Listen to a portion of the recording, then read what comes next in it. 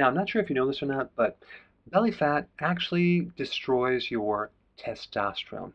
Now, here are the symptoms of low testosterone low sex drive, erectile dysfunction, depression, poor concentration and focus, fatigue, irritability, and a loss of muscle strength. Other than that, you're going to be doing perfectly fine.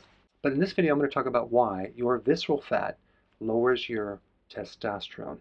Now, visceral fat, that fat around the organs, okay, in your midsection, is loaded with a very specific enzyme called aromatase, okay? And the more fat that you have, the more aromatase you're going to have. Now, what is aromatase? It's that enzyme that converts testosterone and other androgens into estrogen. And estrogen lowers your testosterone. Estrogen makes you fat. So that's the bad news, but I have some good news, okay? There's a way you can inhibit aromatase, okay?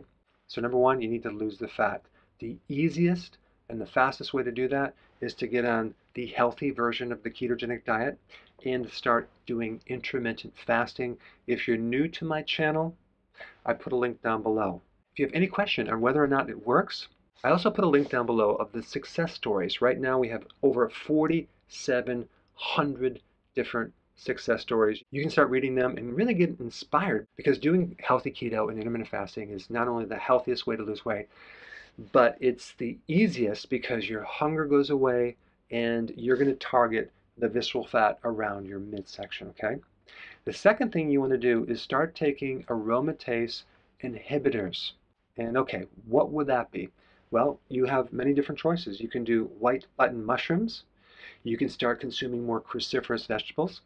You can take the product called DIM, which is a blend of concentrated cruciferous vegetables that help you inhibit aromatase. You can also take stinging nettle root. You can take licorice or grapeseed extract. Now, you don't have to take all of these. You can take one or two and it will still work. All right, thanks for watching and I will see you in the next video. Hey, before you go, if you're benefiting from any of my content, I would love to hear about your success story please share it in the link down below.